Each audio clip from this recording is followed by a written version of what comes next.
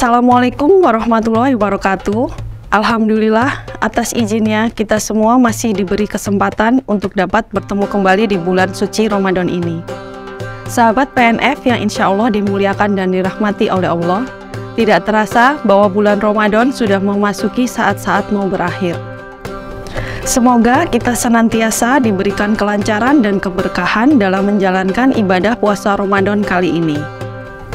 Sahabat PNF yang saya hormati, pada sekapur sirih kali ini, saya, Stiarina, peneliti senior PNF, bermaksud menyampaikan olahraga yang dianjurkan oleh Nabi Muhammad SAW, yaitu olahraga berkuda, memanah, dan berenang. Sebagaimana disampaikan dalam hadis, ajarilah anak-anak kalian berkuda, berenang, dan memanah. Hadis riwayat Bukhari Muslim. Namun, untuk kali ini, saya akan mendiskusikan salah satu olahraga saja, yaitu berkuda. Mengingat profesi saya sebagai dokter hewan dan olahraga ini tertuang dalam Quran Surat Al-Anfal ayat 60.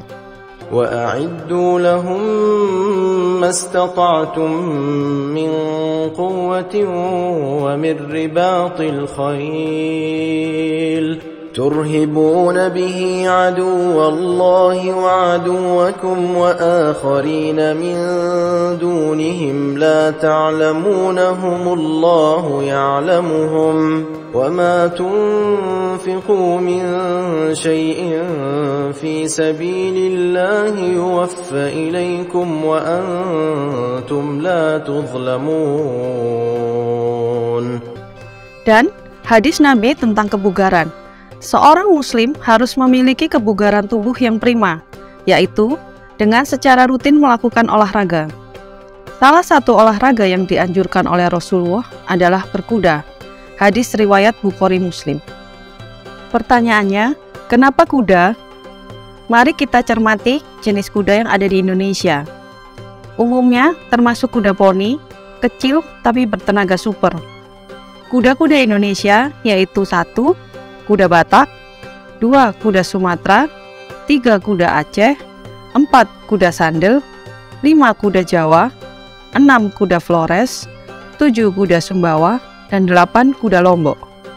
Selanjutnya, bagaimana dengan jenis kuda dari luar Indonesia?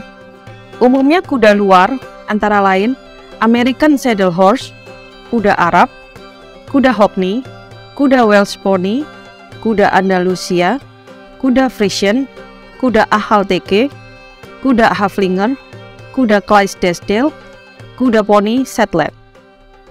Manfaat kuda itu sendiri untuk manusia yaitu yang pertama sebagai tunggangan, yang kedua untuk berperang, ketiga untuk pacuan kuda, empat dimanfaatkan susunya, lima dimanfaatkan dagingnya, enam penarik kereta, tujuh peternakan, dan delapan penghasil pupuk. Keistimewaan kuda sudah tercantum dalam Quran Surat An-Nahl ayat 8. والخيل والبغال والحمير لتركبوها وزينة ويخلق ما لا تعلمون Salah satu keistimewaan kuda adalah tidur sambil berdiri dan tidurnya tidak terlalu lama.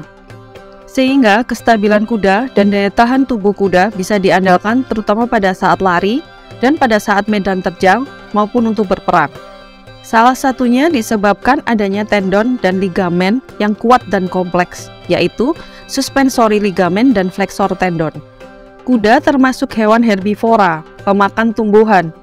Jika musim panas, sehari bisa menghabiskan makan 50 kg rumput dan minum bisa mencapai hingga 60 liter sehari.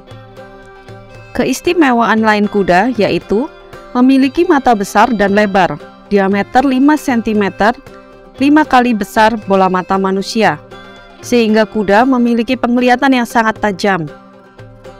Usia kuda bisa dilihat dari gigi.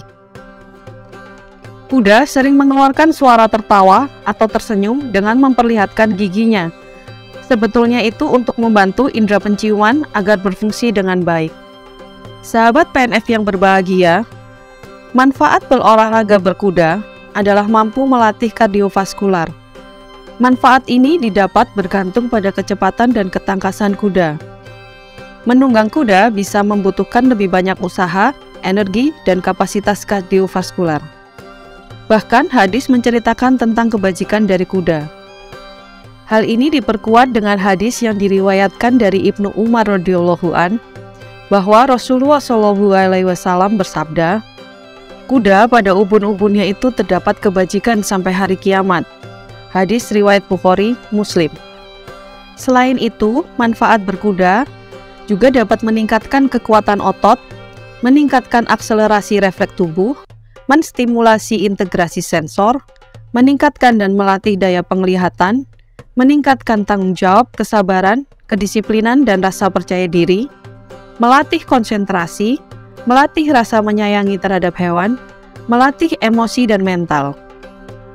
Islam menganjurkan seorang muslim memelihara kuda, sebagaimana hadis riwayat Salman Al-Farisi bahwa tidaklah ada seorang laki-laki muslim melainkan wajib baginya untuk mempunyai seekor kuda jika ia mampu. Tetapi pemeliharaan kuda tetap harus memperhatikan kesejahteraan kuda atau hewan sebagai makhluk hidup, yaitu 1. Bebas dari rasa lapar dan haus, yang berarti pemberian pakan berkualitas dengan gizi yang tinggi sesuai kebutuhan kuda dan akses air bersih untuk minum yang tidak terbatas. 2 bebas dari rasa tidak nyaman, seperti fasilitas kandang dengan sistem sirkulasi dan sanitasi yang baik. 3. Bebas dari rasa sakit, luka, dan penyakit. Selain sistem sanitasi yang baik, pencegahan penyakit dapat dilakukan dengan vaksinasi, pemberian obat cacing, pemeriksaan kesehatan rutin, dan jika kuda mengalami sakit atau luka, berhak untuk mendapatkan pengobatan yang terbaik. 4. Bebas dari rasa takut dan tertekan, Hal ini berkaitan dengan hubungan antara manusia dan hewan tersebut.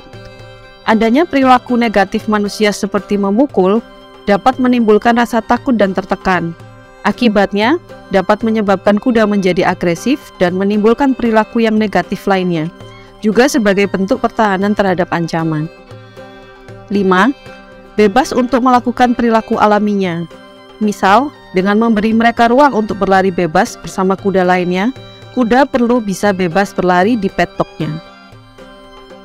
Sahabat PNF yang terpelajar, salah satu kelemahan kuda adalah sensitif terhadap sakit perut. Bisa diakibatkan oleh pakan atau faktor penyakit. Penyakit yang menimpa kuda bisa oleh penyakit umum atau penyakit yang bersifat zoonosis. Hi, Alicia Durinky here with Michigan State University Extension, and I am a summer intern. Did you know that Michigan State University has a horse teaching and research facility just south of campus? I'm out here today in the riding arena with some students in the background working on their equitation. Just so you know, the farm is open to the public during normal business hours, so come on out, see some of our students working horses, and check out our beautiful facility.